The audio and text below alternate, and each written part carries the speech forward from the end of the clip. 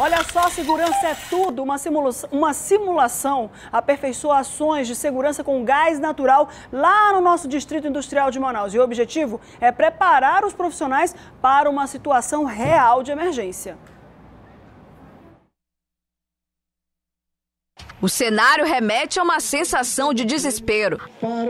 As cenas fazem parte da oitava edição do simulado de exercícios de segurança realizada pela Cigás, em um trecho no Distrito Industrial 2. A ação simulada serve para testar a segurança da rede de gás natural e avaliar o tempo de atuação dos órgãos estaduais e municipais em casos de acidente. A gente faz uma avaliação na cidade toda, onde é que são as, as, as locais onde há, menos há mais possibilidade tá, de ocorrer um acidente. Participaram do simulado o Instituto de Proteção Ambiental do Estado, Polícia Militar, Manaus Trans, SAMU e Corpo de Bombeiros. É importante para cada guarnições nossas, para o Corpo de Bombeiros, avaliar as nossas guarnições de serviço do dia, é, avaliar as ações que são desenvolvidas no local.